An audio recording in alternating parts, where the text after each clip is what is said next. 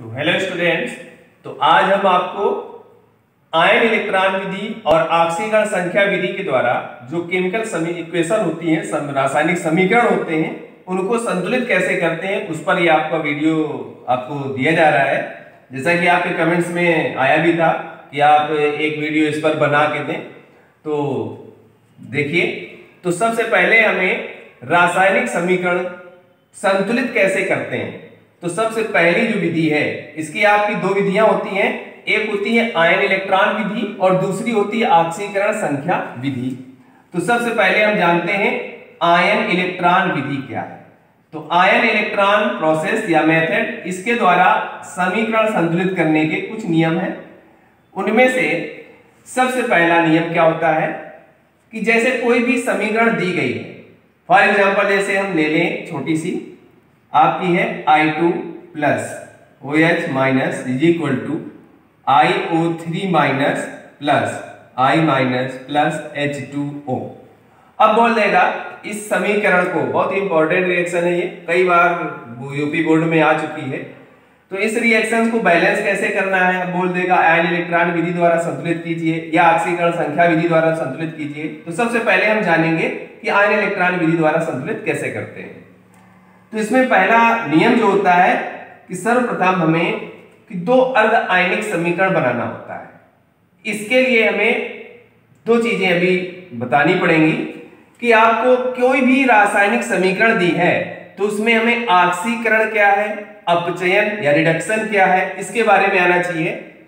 तो जब भी किसी तत्व की ऑक्सीकरण संख्या में वृद्धि हो रही हो, यानी ऑक्सीकरण संख्या में बढ़ोतरी हो रही हो तो वो आपकी अभिक्रिया जो होती है आपकी ऑक्सीडेशन की होती है। अगर किसी तत्व की ऑक्सीकरण संख्या में कमी हो रही है तो वो अभिक्रिया आपकी अपचयन यानी रिडक्शन की होती है। तो अब हम यहीं पर देख लें कि अगर ये I2 है, जैसा कि पिछले वीडियो में हमने ऑक्सीकरण संख्या निकालना कैसे निकालते हैं ये बताया था। तो ये I2 है तो इसकी ऑक्सीकरण संख्या कितनी होगी? ज़ीरो हो जाएगी।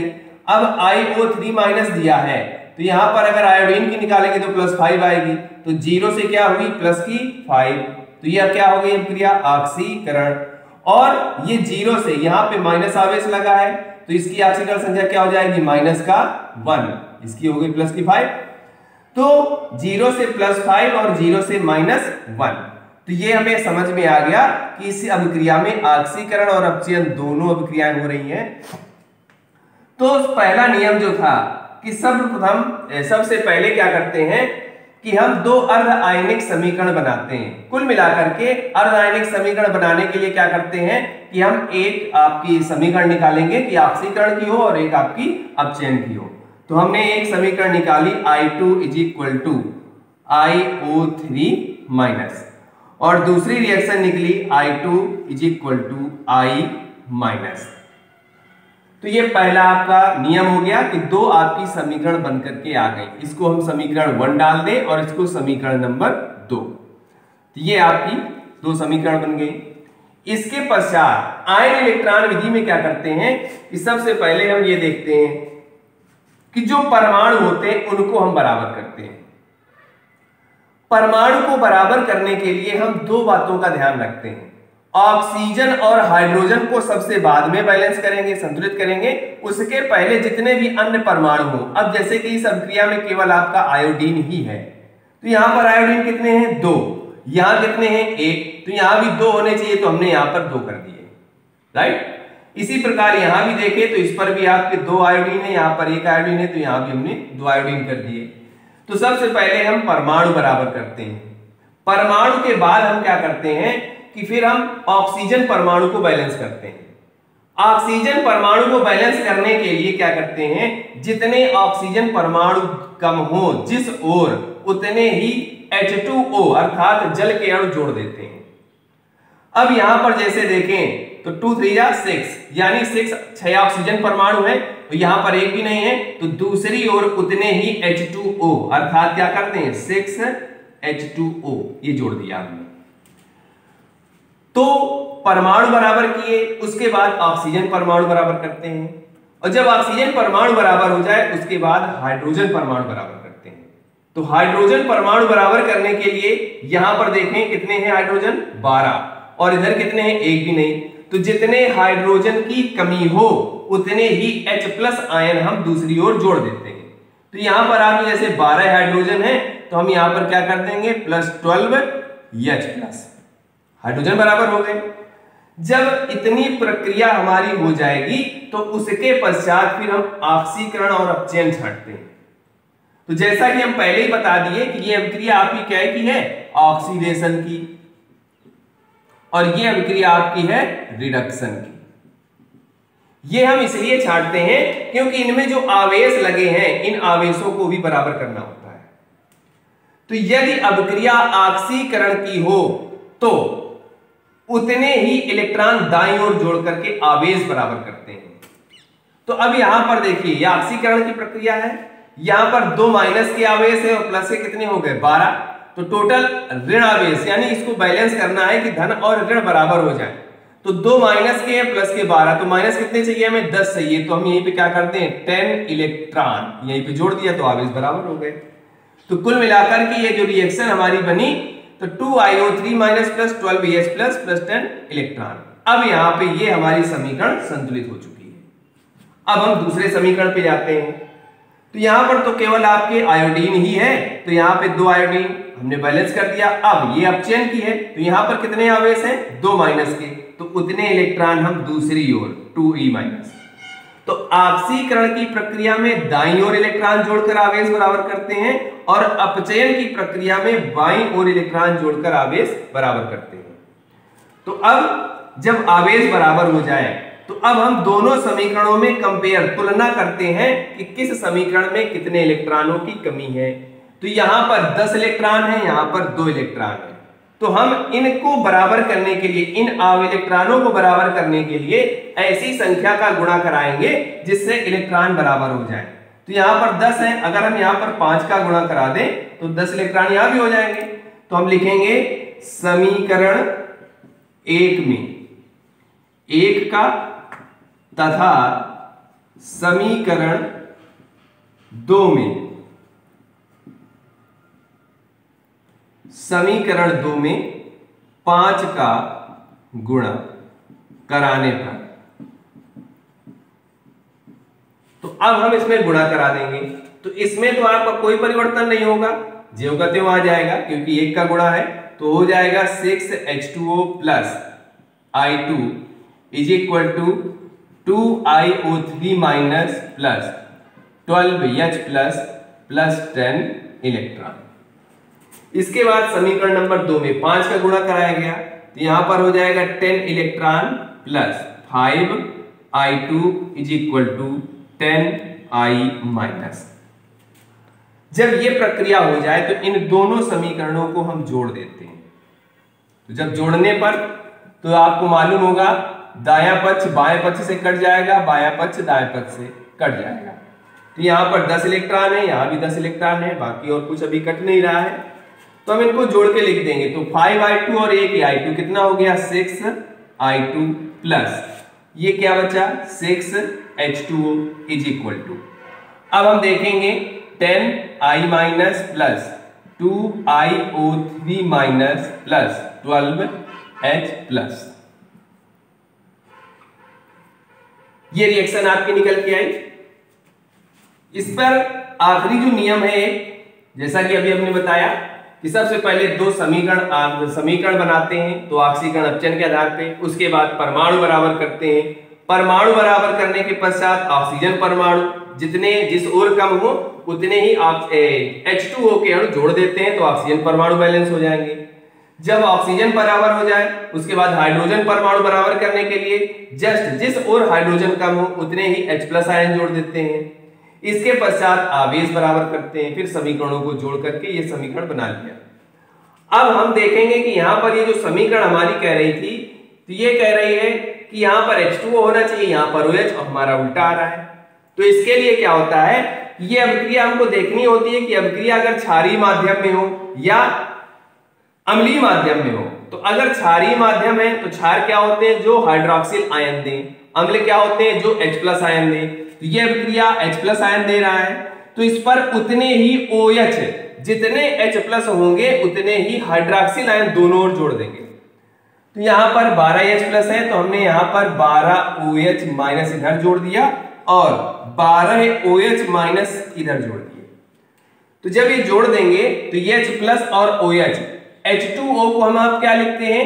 H plus plus O H minus तो ये 12 एच प्लस और 12 ओ एच दोनों मिलकर क्या बना लिए? 12 एच टू ओ तो ये आपका यहाँ से चला जाएगा। अब बचा क्या? 12 एच टू ओ तो ये 12 एच टू यहाँ पर 6 है तो ये कैंसिल हो जाएगा, यहाँ पर कितना बचेगा?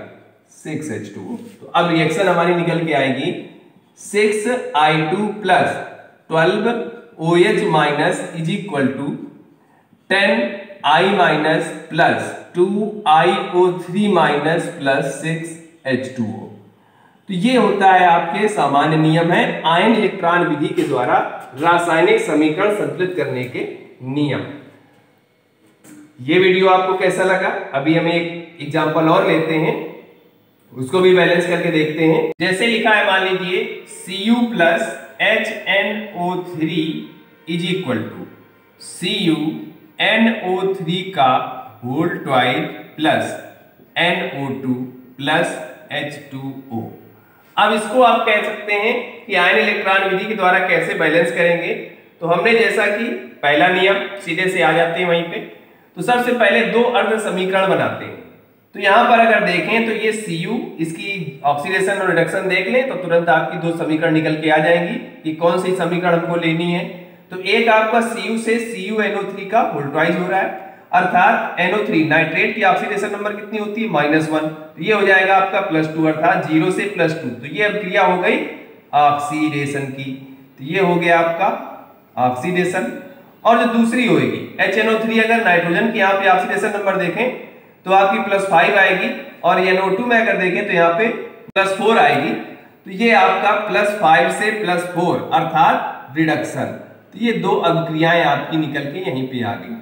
तो वो हमको लिख लेना है तो एक C U is equal to C U N O three का होल ट्वाइस और दूसरी रिएक्शन जो बनी आपकी H N O three is equal to N O two तो अब हम देखेंगे तो आयन इलेक्ट्रॉन विधि के द्वारा कैसे इसको बैलेंस करते हैं। तो हम सबसे पहले क्या देखते हैं, कि जैसे यहाँ पर आपका Cu है, लेकिन यहाँ पे हमें नाइट्रोजन भी लाना है तो इसके लिए यहीं पर हम HNO3 को भी ऐड करना होगा। ये।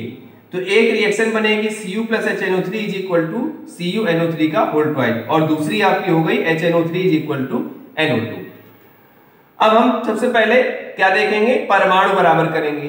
तो यहाँ पर एक कापर है, यहाँ भी एक कापर है। अब यहाँ पे ऑक्सीजन के अलावा कौन सा परमाणु है?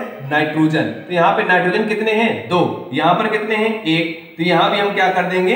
दो कर अब हम देखेंगे ऑक्सीजन और हाइड्रोजन। तो यहाँ पे अगर देखें तो टू थ्री जा सिक्स, छह ऑक्सीजन है, यहाँ भी टू थ्री जा सिक्स, यानी छह ऑक्सीजन। अब क्या बचा? हाइड्रोजन। तो यहाँ पर दो हाइड्रोजन है तो यहाँ पर हाइड्रोजन की कमी है तो उतने ही दूसरी ओर एच प्लस जोड़ देते हैं। तो अब ये टू एच प्लस हो गया। इसके पश्चात क्या करेंगे? हम ये देखेंगे कि ऑक्सीडेशन है, ये पहले ही बता चुके, ये अब क्रिया किसकी हुई? ऑक्सीडेशन की।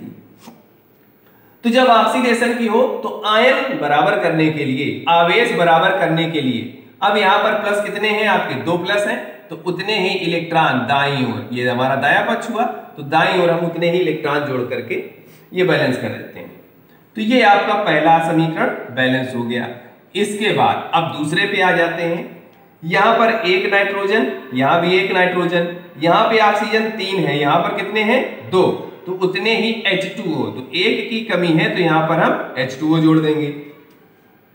इसके पश्चात देखेंगे तो यहाँ पर आपके ऑक्सीजन बराबर अब हाइड्रोजन देखें। तो यहाँ पर एक हाइड्रोजन है, यहाँ पर दो है। तो एक हाइड्रोजन यहाँ कम है तो यहाँ पर उतने ही हम H प्लस कर देंगे। अब आवेश देखेंगे तो यहाँ पर यह अभिक्रिया किसके प्रकार की है? रिडक्शन की। तो रिडक्शन में क्या होता है? रिडक्शन में हम इलेक्ट्रॉन या आवेश होते हैं आपको बाई ओर जोड़ने होते हैं। तो बाया पक्ष कौन सा हुआ ये? तो यहाँ पर प्लस कितने हैं? वन उतने ही इलेक्ट्रॉन यहाँ पे जोड़ दिए। अब यहाँ पे आपके एक इलेक्ट्रॉन है, यहाँ पर आपके दो इलेक्ट्रॉन है। तो हम क्या करेंगे? यहाँ पर हम दो का गुणा करा दें, ऊपर वाले में एक का गुणा करा दें। तो इसमें समीकरण एक में तो नीचे लिख देते हैं, समीकरण एक में एक का तथा समीकरण दो में दो का गुणा कराने पर। तो जब इसमें ए का गुणा कराएँगे तो ये तो यही आ जाएगा। C U plus two H N O three is equal to C U N O three का whole twice plus two H plus plus two electron नीचे में दो का गुणा कराएँगे तो ये हो जाएगा two electron plus two H plus plus two H N O three is equal to two N O two plus two H two O अब इन दोनों समीकरणों को क्या करेंगे? जोड़ देंगे। तो लिख देंगे जोड़ने पर। जब जोड़ेंगे तो क्या होगा? ये दाया पक्ष दो इलेक्ट्रॉन यहाँ है, ये दाएँ इधर है, कट जाएँगे। ये टू एच प्लस है, ये टू एच प्लस कट जाएँगे। इसके पश्चात अब हम इनको जोड़ दें तो क्या बनेगा? सी यू प्लस दो और दो, चार। Four H N O three is equal to C U N O three का whole twice plus two N O two plus two H two O तो ये आपके समीकरण जो है बैलेंस होके आ गई अब हम इसमें लास्ट में ये भी देख लेते हैं कि यहाँ पर जितने परमाणु या तत्व हैं, उतने ही यहाँ दोनों ओर बराबर होने चाहिए। तो अब यहाँ पर एक कॉपर है, यहाँ भी एक कॉपर है। यहाँ पर अगर देखें तो नाइट्रोजन कितने हैं? दो ये हैं और दो ये हैं। चार, यहाँ भी आपके चार नाइट्रोजन है। ऑक्सीजन यहाँ पे फोर थ्री जा ट्वेल्व बारह है। तो यहाँ भी टू थ्री जा सिक्स टू टू जा फोर एंड टू ये हो गए। तो दो और चार छह और छह, बारह। और हाइड्रोजन कितने हैं? चार। चार हाइड्रोजन तो इस प्रकार से समीकरण हम बैलेंस कर लेते हैं आयन इलेक्ट्रॉन विधि के द्वारा। ऑक्सीकरण संख्या विधि के द्वारा समीकरण संतुलित कैसे करते हैं, उसके बारे में जानकारी देंगे। तो इसमें सबसे पहले कुछ रूल्स हैं कि ऑक्सीडेशन नंबर के द्वारा हम समीकरण जो संतुलित करना है बैलेंस करना है। तो इसमें हमें सबसे पहले आना चाहिए कि ऑक्सीडेशन नंबर निकालते कैसे इस पर हम आपको एक वीडियो दे चुके हैं कि ऑक्सीडेशन नंबर आपको निकालते कैसे हैं। तो ऑक्सीडेशन नंबर निकालना यदि आ गया तो हमें आसानी से जो है कोई भी रिएक्शन होगी, उसको बैलेंस किया जा सकता है ऑक्सीकरण संख्या विधि के द्वारा। तो सर्वप्रथम इसमें हम एक एग्ज़ाम्पल लेते हैं, उसी के द्वारा आपको रूल्स भी बताते चलते हैं। जैसे मान लीजिए लिखा है C U plus H N O three is equal to C U N O three का whole twice plus N O two plus H two O अब बोलता है कि इस समीकरण को ऑक्सीकरण संख्या विधि के द्वारा संतुलित कीजिए। तो इसमें सबसे पहला नियम जो होता है तो ये कहता है कि हमें जो भी समीकरण दे रखा है तो उस समीकरण में प्रत्येक तत्व की ऑक्सीडेशन नंबर हम नोट कर देते हैं। उसी तत्व के ऊपर नोट कर देंगे कि जिस तत्व की कितनी ऑक्सीकरण संख्या है। और एक बात याद रखेंगे कि अगर हाइड्रोक्सिल आयन दिया है या H2O दिया है, इनको हम नहीं लेते। केवल हम मुख्य जो है, मूलक या परमाणु जो दिए गए होते हैं, यौगिक दिया होता है, उनकी ही ऑक्सीकरण संख्या निकाल के रखते हैं। तो आइए स्टार्ट करते हैं। जैसे अभी कॉपर है तो कॉपर तत्व है, मुक्त अवस्था में है तो इसकी ऑक्सीकरण संख्या क्या हो जाएगी? ज़ीरो अब हाइड्रोजन को आपको मालूम है, इसकी प्लस वन होती है। नाइट्रोजन की अगर निकालेंगे तो इसकी आपकी माइनस टू तो माइनस सिक्स हो जाएगी तो कुल मिलाकर के नाइट्रोजन की यहाँ पर क्या आ जाएगी? प्लस की फाइव अब हम कॉपर इधर आ जाते हैं। तो कॉपर की ऑक्सीडेशन नंबर निकालेंगे तो यहाँ नाइट्रेट आयन जो होता है आपका, उसकी माइनस वन होती है। तो माइनस वन के आधार पर इसकी कितनी हो जाएगी? प्लस की दो। इसके बाद देखें तो NO2 जैसे लिखा है तो नाइट्रोजन की निकालेंगे तो यहाँ पर हो जाएगी इसकी प्लस की फोर तो कुल मिलाकर के हम जो मुख्य मुख्य तत्व होते हैं, उनकी ऑक्सीडेशन नंबर हम प्रत्येक तत्व के ऊपर नोट कर देते हैं। तो इस ऑक्सीकरण संख्या नोट करने के पश्चात, अब हम क्या करते हैं कि दो समीकरण बना के रख लेते हैं। कौन कौन से? उनमें हम डायरेक्टली सीधे देखते हैं कि ऑक्सीडेशन कहाँ हो रहा है और रिडक्शन कहाँ हो रहा है। तो ऑक्सीडेशन बताए थे कि ऑक्सीडेशन होता है जब भी किसी तत्व की ऑक्सीकरण संख्या में क्या हो? वृद्धि हो तो वो आपकी क्या कहलाती है? ऑक्सीकरण और अगर ऑक्सीकरण संख्या में कमी हो रही है तो वो आपकी अपचयन कहलाती है। तो यहाँ पर कापर की ज़ीरो से क्या हो रही है? Plus two. तो यह अभिक्रिया किस प्रकार की हो गई? ऑक्सीडेशन की। और यहाँ पर प्लस फाइव से प्लस फोर अर्थात कमी हो रही है। तो ये क्या हो गई आपकी अभिक्रिया रिडक्शन की। और इन्हीं दो अभिक्रियाओं को हम सीधे नीचे लिख देते हैं। तो ये आपकी बनेगी C U is equal to C U N O three का होल ट्वाइज और दूसरी बनेगी H N O three is equal to N O two ये दो रिएक्शन निकल के आए। ये आपकी अभिक्रिया किसकी है? ऑक्सीडेशन की। और ये अभिक्रिया आपकी किसकी है? रिडक्शन की।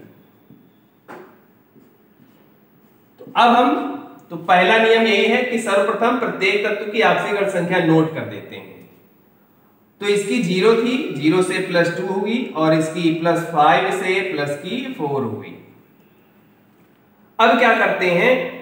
इसमें क्या करते हैं कि एक चीज़ हमें याद रखना होता है। आयन इलेक्ट्रॉन में पहले परमाणु बराबर करते हैं, लेकिन इस विधि में परमाणु सबसे बाद में बराबर करेंगे।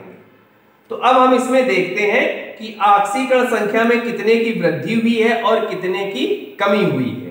तो अगर हम देखें तो यहाँ पर ज़ीरो से प्लस दो हो रही है और यहाँ पर प्लस फाइव से प्लस फोर, अर्थात कमी हो रही है एक की और वृद्धि हो रही है दो की। तो अब हम ऐसी संख्या का गुणा कराते हैं कि जिससे जो ऑक्सीकरण इन तत्वों में ऑक्सीकरण संख्या में जो कमी और वृद्धि हो रही है, वो इक्वल बराबर हो जाए। तो इसके लिए हमें कुछ नहीं देखना है, बस एक चीज़ याद रखना है कि जितने की कमी हो रही हो तो उसकी जितनी संख्या की कमी हो रही है, उतने का गुणा ऑक्सीडेशन में और जितने की वृद्धि हो रही है, उतने का गुणा रिडक्शन वाली रिएक्शन में हम करा दें तो आपकी ऑक्सीकरण संख्या में कमी और वृद्धि जो होती है, वो बैलेंस हो जाएगी। तो अब यहाँ पर दो की वृद्धि हो रही है तो इसमें हम गुणा करा दें दो का। यहाँ पर कमी हो रही है तो ऑक्सीडेशन रिएक्शन ये है तो इसमें हम गुणा एक का करा दें। इसके बाद समीकरण लिख दें। तो ये क्या बनेगा? इसमें दो का गुणा हो जाएगा तो ये बन जाएगा two H N O three is equal to two N O two. और इसमें एक का होगा तो ये तो सेम रहेगी तो C U is equal to C U N O three का होल ट्वाइस अब इन दोनों समीकरणों को जोड़ देंगे। जब जोड़ देंगे तो आपकी बनेगी C U plus two H N O three is equal to C U N O three का whole twice plus two N O two ये समीकरण आपका निकल के आया। तो अब हम क्या करते हैं? अभी जैसा कि हमने बताया था कि इसमें सबसे लास्ट में हम क्या करते हैं? परमाणु बराबर करते हैं। तो परमाणु बराबर करने के लिए क्या करेंगे? अब देखिए, यहाँ पर एक कॉपर है, यहाँ भी एक कॉपर ये परमाणु बराबर है। अब हम किस पर जाए? नाइट्रोजन पे। बाकी जो सेम नियम होते हैं, जैसा कि हमने आयन इलेक्ट्रॉन विधि वाले वीडियो में आपको बताया था तो अब वही सारे नियम यहाँ पे फॉलो करेंगे कि परमाणु बराबर करेंगे। परमाणु में सबसे पहले तत्वों को लेंगे, उसके बाद ऑक्सीजन को, फिर उसके लास्ट में हाइड्रोजन परमाणु को बराबर करेंगे। तो अब यहाँ पर नाइट्रोजन कितने हैं? दो। और यहाँ पर कितने हैं? दो नाइट्रोजन ये हो गए और दो ये चार तो यहाँ भी चार होने चाहिए। तो हम सीधे कर देते हैं four H N O three अर्थात C U plus four H N O three is equal to तो ये तो सेम है प्लस इसको भी लिख दें टू एन ओ टू तो आपके नाइट्रोजन बराबर। अब हम ऑक्सीजन पे देखें। तो यहाँ पर कितने हो गए? फोर थ्री जा ट्वेल्व ऑक्सीजन है। और यहाँ पर कितने? टू थ्री जा सिक्स और टू टू जा फोर यानी सिक्स और फोर कितने हुए? टेन कमी कितने की हुई? दो की। तो जब दो ऑक्सीजन कम है, लेकिन किस साइड कम है? इस साइड तो ऑक्सीजन परमाणु को बराबर करने के लिए उतने ही H2O जोड़ देते हैं। तो हमने टू H2O जोड़ दिया। और जैसे ही, ये एक ध्यान रखिएगा, बहुत ही अच्छी चीज़ है। कि जैसे ही हम आप ऑक्सीजन बराबर करेंगे तो हाइड्रोजन लगभग हर समीकरण में ऑटोमेटिकली जो है बराबर हो जाएँगे। अब देखिए, हमने यहाँ पे दो हाइड्रोजन ए, दो एच टू जोड़े तो यहाँ पे चार हाइड्रोजन हुए और चार हाइड्रोजन हमारे पहले से ही यहाँ पर उपस्थित थे। तो इस प्रकार से ऑक्सीकरण संख्या विधि के द्वारा रासायनिक समीकरण संतुलित करते हैं। अब कोई भी रिएक्शन हो, कितनी भी बड़ी हो या छोटी हो तो उसमें ऑक्सीकरण संख्या विधि द्वारा संतुलित करना हो या आयन इलेक्ट्रॉन विधि द्वारा संतुलित करना हो तो ये छोटे से नियम है। इनको अगर फॉलो करें, बहुत ही आसानी से सरल विधि में आपके समीकरण बैलेंस हो जाएँगे। तो ये वीडियो आपको कैसा लगा, ज़रूर बताइएगा कमेंट्स करके।